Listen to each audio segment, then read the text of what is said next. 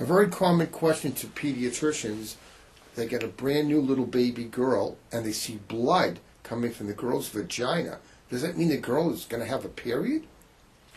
This um, phenomenon of a little bit of bleeding from a newborn's vagina is quite common and really has to do with a withdrawal of estrogen or female hormone that the baby is exposed to while in the mother's uterus.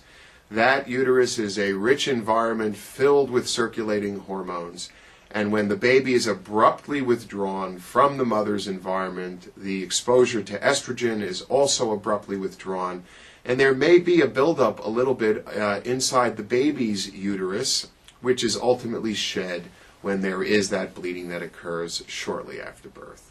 We also sometimes also on baby, boy or girl, there's a little bit of formation at the breast, a little budding, and sometimes there's a little whitish discharge. How come? quite commonly, in about 65 to 80 percent of newborn girls in particular, there will be the development of breast tissue between the ages of six months and approximately two and a half years. We typically see about two to three children per week who come in with that same complaint. It's important that families are reassured that in the absence of any real changes in the body or in the nipple consistent with true estrogen action, on the body as we would see in early puberty.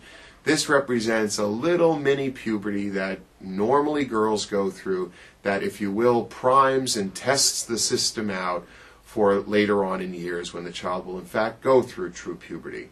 We observe these children. We rarely get laboratory testing. We'll see a child back in three to four months.